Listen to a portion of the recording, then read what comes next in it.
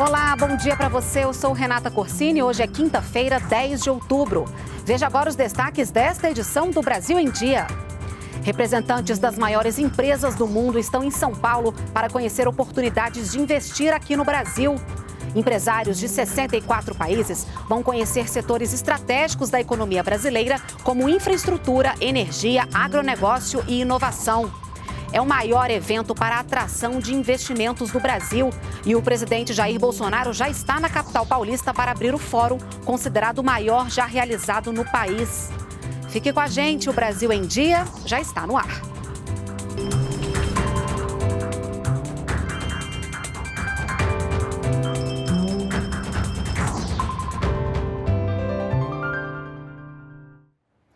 São 9 horas e 45 minutos. Estamos ao vivo também pelas redes sociais.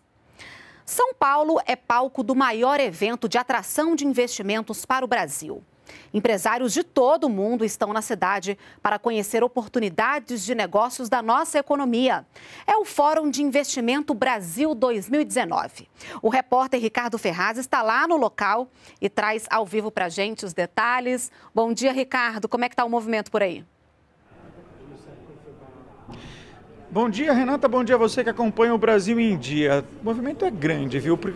Porque, o fórum cresceu este ano em relação à edição de 2018. Cerca de 2.200 pessoas, principalmente empresários investidores estrangeiros, diretores executivos de grandes empresas nacionais e multinacionais de 64 países, vão participar do evento. Eles vêm em busca de boas oportunidades de negócios nas áreas que são consideradas estratégicas para a economia brasileira, como infraestrutura, agronegócios, energia, tecnologia e inovação. Neste momento, o presidente Jair Bolsonaro participa da solenidade de abertura ao lado dos ministros da Casa Civil, Onix Lorenzoni, da Economia, Paulo Guedes, e das Relações Internacionais, Ernesto Araújo. Os presidentes do Banco Interamericano de Desenvolvimento e também da Agência de Promoção de Exportações Brasileiras, a Apex também estão nesta solenidade. E ao longo desses dois dias de fórum,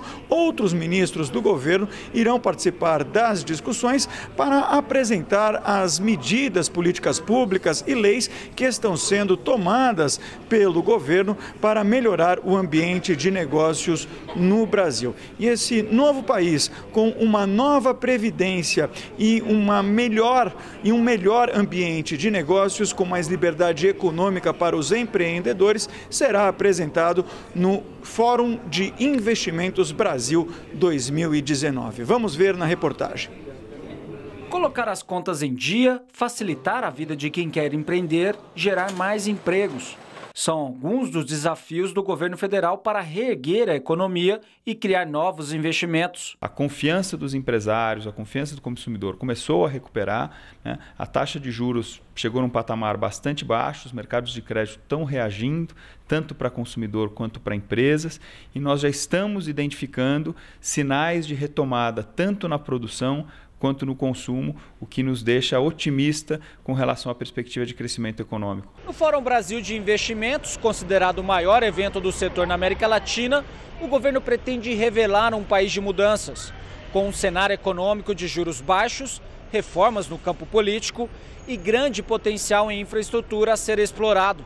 Um ambiente positivo para grandes oportunidades. Nós temos um dos maiores mercados do mundo. Né? O Brasil é o oitavo PIB global, dependendo do critério, eh, está entre as dez maiores economias. Portanto, uma economia fortemente diversificada, né? tanto em atividades na agropecuária, na indústria tradicional, mineração, ainda mantém alguma atividade na indústria de transformação e um setor de serviços também relevante. Para o setor produtivo, as medidas como a nova Previdência e a Lei da Liberdade Econômica criam condições favoráveis de negócio no país o Brasil está se modernizando, ele está acabando com essa agenda antiga, que essas reformas são uma agenda antiga, mas que essa agenda antiga acabando abre caminho para a nova agenda, a agenda da transformação, da inovação, da tecnologia, enfim, a agenda do futuro. E o Brasil subiu de posição no ranking global de competitividade e agora ocupa a posição de número 71. Para o governo, medidas como a modernização do Estado e as obras de infraestrutura ajudam a melhorar o ambiente de negócios no país. Um levantamento divulgado nesta quarta-feira em Brasília, durante o primeiro seminário de competitividade do setor de infraestrutura, aponta que o Brasil avançou uma posição no ranking de competitividade mundial e ocupa agora a posição de número 71 entre 141 países. A avaliação, feita pelo Fórum Econômico Mundial, considera fatores como capital humano, ambiente favorável e mercado. No topo do ranking, Singapura superou os Estados Unidos e ocupa o primeiro lugar. Em seguida, vem Hong Kong, Holanda, Suíça e Japão. O país latino-americano mais bem colocado no ranking é o Chile, seguido pelo México e Uruguai. O Brasil e a Colômbia foram os únicos países da região a ganhar posição em relação a 2018. O ranking levou em conta dados de 2018 e as expectativas de mercado para a economia colhidas nos três primeiros meses de 2019. Para fazer com que o país avance posições, o governo aposta em medidas como a modernização do Estado e em obras de infraestrutura. A gente está se debruçando em cima de temas como a tributação sobre o ganho de capital, a, o risco cambial, a questão do meio ambiente, do licenciamento ambiental. Tem todo um ambiente de negócio que está sendo construído. Temos uma série de ações e a competitividade é um dos componentes que é medido por esse ranking do Banco Mundial, focadas, nós estamos focados já no resultado do ano que vem, no questionário que vai ser aplicado no primeiro trimestre, Estradas em melhores condições, planejamento de gastos com combustíveis, pedágios, fretes e outras despesas com o caminhão. Assuntos do Fórum Permanente para o Transporte Rodoviário de Carga. Um encontro realizado pelo Ministério da Infraestrutura que reúne representantes do governo, caminhoneiros e empresários. No primeiro dia do fórum, o ministro da Infraestrutura conversou com os caminhoneiros e discutiu as questões relacionadas à categoria. Ele falou sobre a questão da oferta e demanda e também sobre o aumento do preço do frete e disse que a solução desses problemas passa também pela questão do crescimento econômico do país. Não tem mágica. O frete só vai vir com a economia aquecendo. O preço só melhora com a economia crescendo. Alguns companheiros estão se estruturando, vários estão formando cooperativa, já estão pensando o seguinte: como é que eu vou especializar minha prestação de serviço?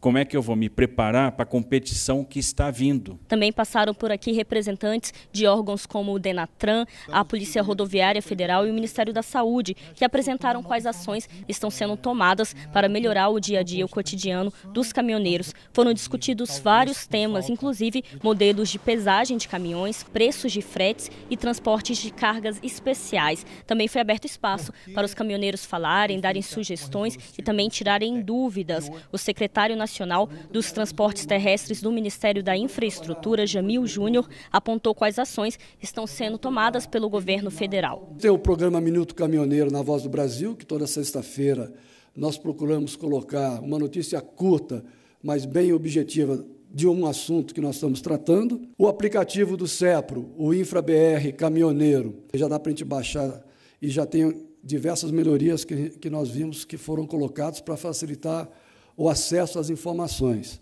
Estamos coordenando as ações do SESC Senat, do ponto de apoio, com o Ministério da Saúde e com a Caixa Econômica Federal.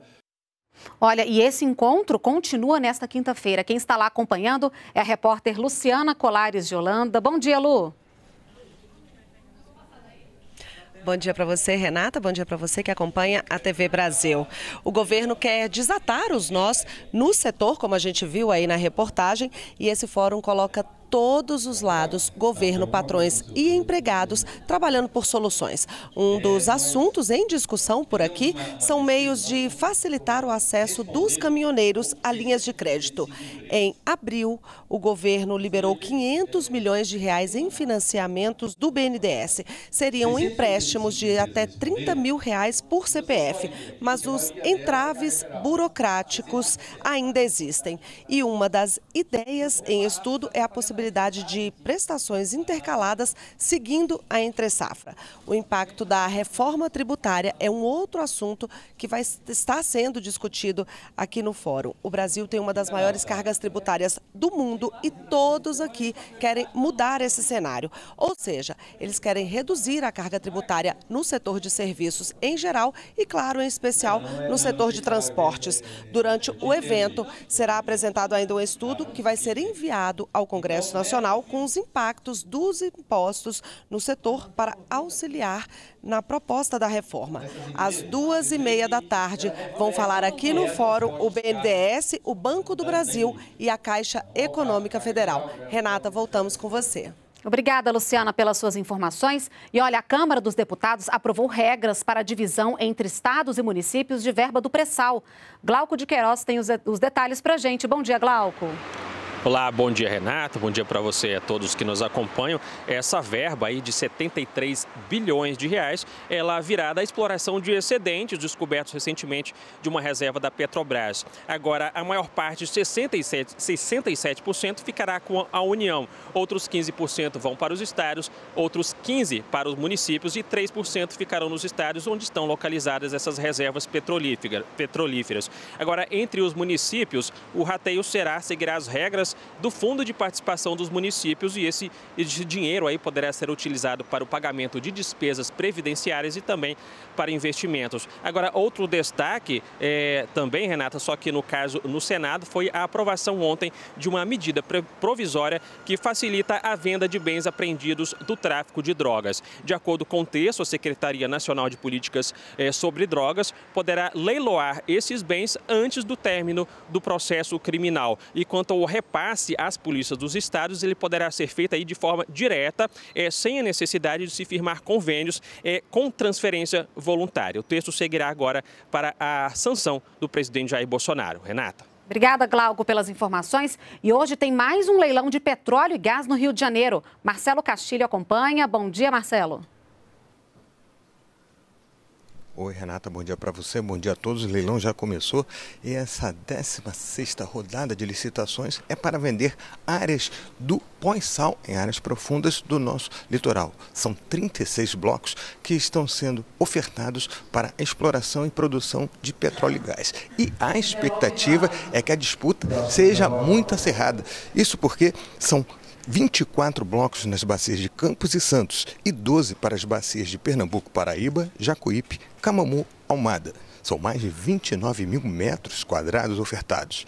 A partir dessa 16ª rodada, as licitações no modelo de concessões oferecem somente blocos marítimos, já que as áreas terrestres estão incluídas no sistema de oferta permanente. O ministro de Minas e Energia, Bento Albuquerque, está participando desse leilão. Ao todo, 17 petroleiras foram inscritas para participar da disputa. Renata. Obrigada, Marcelo, pelas suas informações ao vivo, direto do Rio de Janeiro. E olha, o Brasil em Dia fica por aqui. Você pode nos acompanhar também pelas redes sociais. Boa quinta-feira para você. A gente se vê amanhã. Até lá.